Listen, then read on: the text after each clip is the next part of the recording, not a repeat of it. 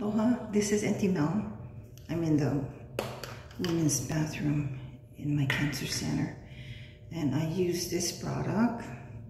This is to numb the area. I have a port right in here.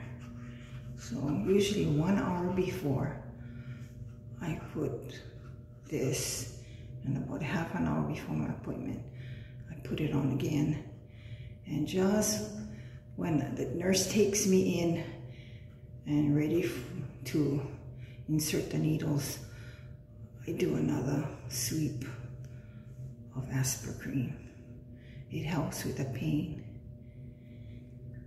So that's what I do.